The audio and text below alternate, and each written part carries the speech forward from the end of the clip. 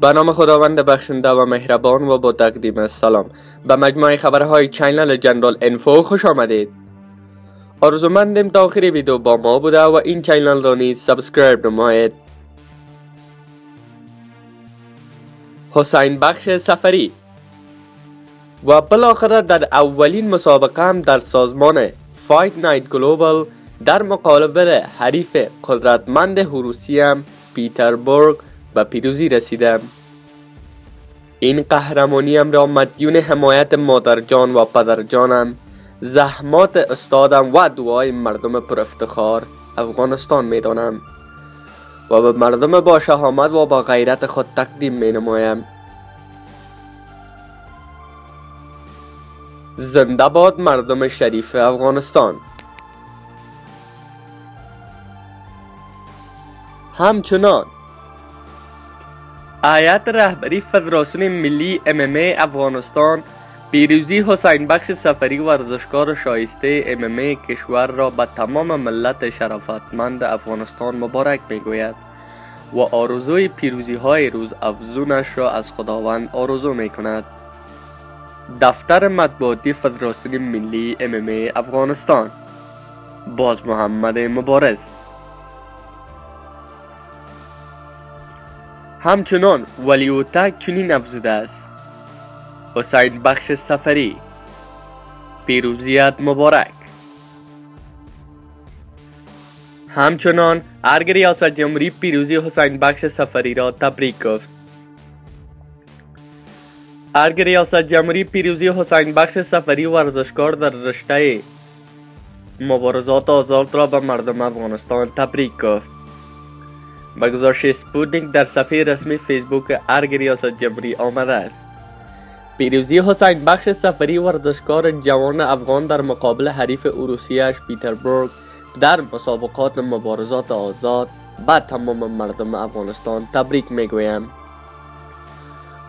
حسین بخش صفری ورزشکار خوب کشور در رشته مبارزات آزاد امشب در سازمان فایت نایت به مساف پیتربورگ اروسی رفت و این مبارزه را در سه راوند شکست داد. این مسابقه در سالون شهر مسکو روسیه برگزار شده بود و استقبال خوب نیز از این مسابقه صورت گرفته بود. حسین بخش سفری در این مبارزه درخشان حاضر شد و در تمامی راوندهای مسابقه مبارزه برتر بود و به حریفش اجازه نداد تا کار انجام دهد.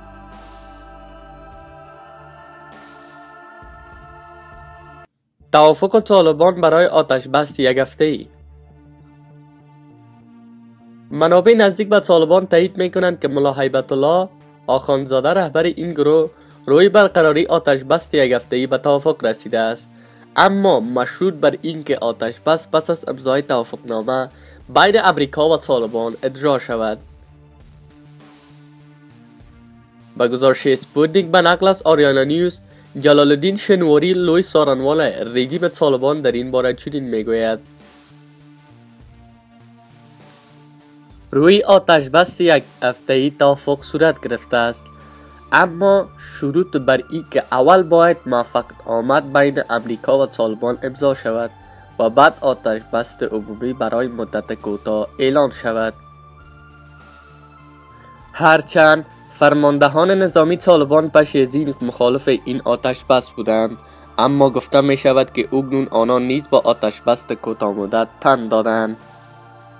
سید اکبر آقا عضو پیشین گروه طالبان می گوید که مذاکرات بین الافغانی بعد از آتش بست به میان می آید او می افزاید که اگر مذاکرات خوب پیش برود امکان دارد که آتش بست تمدید شود. اما اگر نتیجه نداشته باشد آتش بست نیز تمام خواهد شد. گفته می شود که گفتگوهای غیر مستقیم نیز بین امریکایی ها و طالبان جریان دارد و انتظار می رود که به زودی زمان و مکان امضای توافقنامه بین دو طرف روشن شود. با اعلام آتش بست مذاکرات میان افغان ها نیز آغاز می شود با این حال تا هنوز حکومت و سیاسون کشور روی تشکیل ایت گفتگو کننده صلح به توافق نرسیدند.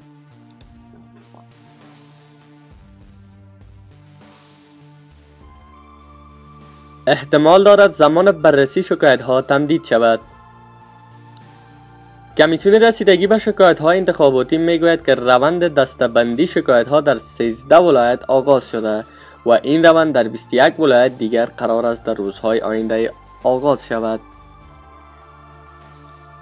به گزارش سپوتنیک به نقل از نیوز روند بررسی 16500 شکایت که از سوی دسته های انتخاباتی ثبت شدند روز پیش آغاز شد. کمیسیون رسیدگی به شکایت ها 15 روز وقت دارد که به این شکایت ها رسیدگی کند. اما اگدون قاسم الیاسی دبری این نهاد می‌گوید که به دلیل میزان بلند شکایت ها احتمال دارد که زمان بررسی این شکایت ها تمدید شود. آقای الیاسی در این باره بیان داشت. در ولایت هایی که کمترین میزان شکایت بوده است مثلا از باب نمونه بامیان 20 شکایت داشته است. طبیعتا شاید در 5 روز تمام شود. ولی در ولایت های مثل کابل که 2300 شکایت است فکر کنم 15 روز روز کافی برای بررسی این شکایت ها نخواهد بود. یوسف رشید رئیس اجرایی بنیاد انتخابات آزاد و عدالانه افغانستان نیز بیان داشت. اگر سطح اعتراضات بلند برود که استثناف طلب شود در آن صورت باز کمیسیون رسیدگی به شکایت ها نمی تواند در 15 روز به این مسائل رسیدگی کند. در این میان شمار از اعضای مجلس میگن که چگونگی رسیدگی به شکایت ها برای تامین شفافیت و عدالت انتخاباتی مهم است و باید این روند به گونه شفاف و پیش برود. سید احمد سیلاب عضو مجلس نمایندگان بیان داشت. اجازه داده نشود که کمیسیون رسیدگی به شکایت ها تمدید شود و این کمیسیون گروگان گرفته شود که این روند باز به جنجال برود. انتخابات ریاست جمهوری افغانستان به تاریخ 6 میزان برگزار شد.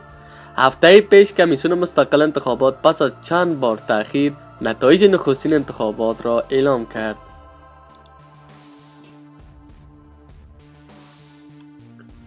آیا ثبت پیش از 16 هزار شکایت انتخابات را به دور دوم می‌برد؟ دین محمد عظیمی معاون کمیسیون شکایت انتخاباتی با توجه به میزان شکایت ها احتمال رفتن انتخابات ریاست جمهوری افغانستان را به دور دوم را رد می کند مگزارش پس از اعلام نتایج ابتدایی انتخابات ریاست جمهوری مرحله ثبت شکایت ها انجام و تا سه روز پس از اعلام نتایج حدود 16500 شکایت از سوی دسته های انتخاباتی در کمیسیون شکایت های انتخاباتی ثبت شد.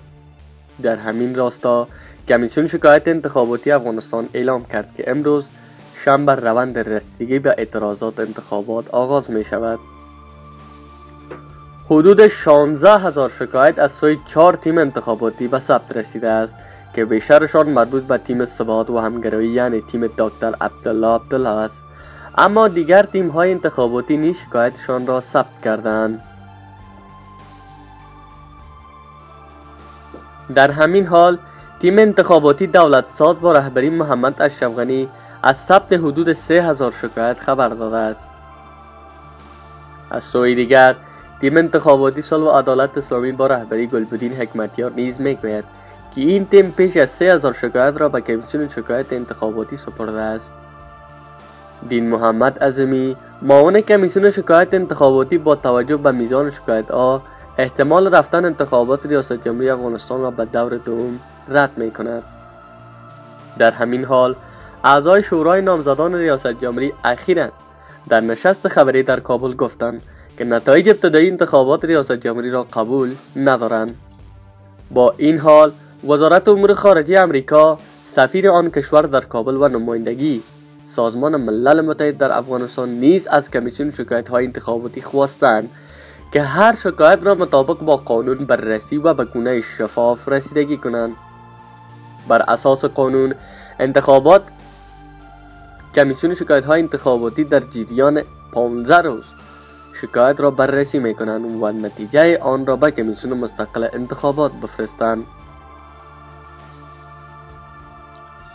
کمیسیون مستقل انتخابات روز یکشنبه 22 دسامبر سال روان نتایج ابتدایی انتخابات ریاست جمهوری را اعلام کرد که بر اساس آن محمد اشرف غنی با کسب 50.60 درصد آرا در صدر قرار گرفت.